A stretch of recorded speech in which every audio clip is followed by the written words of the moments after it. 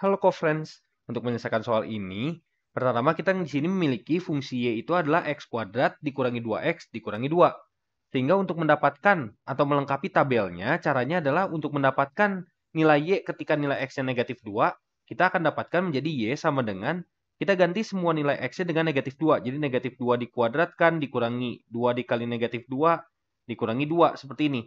Sehingga kita dapatkan negatif 2 dikuadratkan adalah 4, negatif 2 dikali dengan negatif 2 adalah 4 juga, jadi 4 ditambah 4 adalah 8, dikurangi 2 menjadi 6, seperti ini.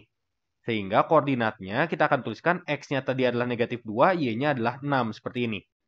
Kemudian yang kedua kita akan cari ketika x-nya negatif 1. Jadi y sama dengan negatif 1 dikuadratkan dikurangi dengan 2 dikali negatif 1 dikurangi 2. Kita akan dapatkan negatif 1 dikuadratkan adalah 1.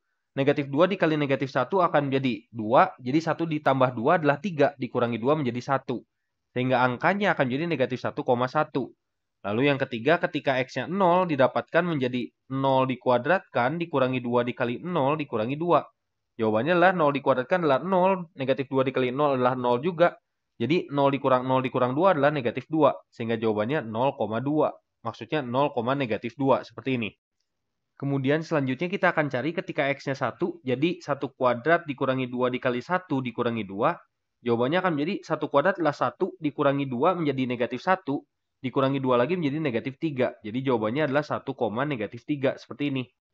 Kemudian selanjutnya kita akan cari lagi ketika nilai x-nya 2. Jadi y sama dengan 2 kuadrat dikurangi 2 dikali 2 dikurangi 2. Jawabannya adalah 2 kuadrat adalah 4. Negatif 2 dikali 2 adalah 4. Jadi negatif 4 maksudnya. Jadi 4 dikurangi 4 adalah 0 dikurangi 2 menjadi negatif 2. Jawabannya adalah 2, negatif 2. Seperti ini. Lalu selanjutnya ini sudah diketahui yaitu 3,1.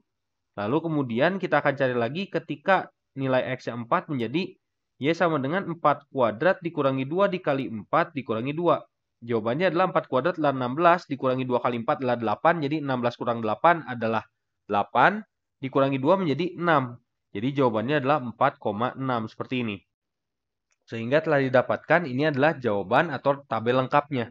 Sampai jumpa di video pembahasan yang berikutnya.